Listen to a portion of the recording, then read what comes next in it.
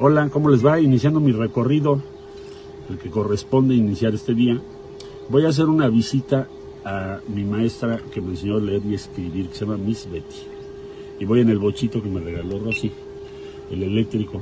Iniciando con la visita de su maestra de kinder, Miss Letty, el exsecretario de Relaciones Exteriores, Marcelo Ebrard, inició sus recorridos por el país para contender en el proceso interno de Morena para la candidatura presidencial 2024. Conduciendo su bochito eléctrico hacia el sur de la Ciudad de México, el ex canciller afirmó que en estos recorridos se debe escuchar a la gente y tener humildad. Además, detalló que decidió iniciar su gira con esta visita para agradecerle a su ex profesora sus enseñanzas. Además, comunicó que estaría informando respecto al financiamiento durante esta contienda. Asimismo, celebró que se aseguró a la transparencia y claridad, sobre todo el no derroche de recursos, ya que resultaría contradictorio contra los ideales que defiende el movimiento de la 4T. Como parte de su inicio de campaña, el ex canciller realizó un evento este 19 de junio a las 11.30 horas en el Hotel de la Ciudad de México.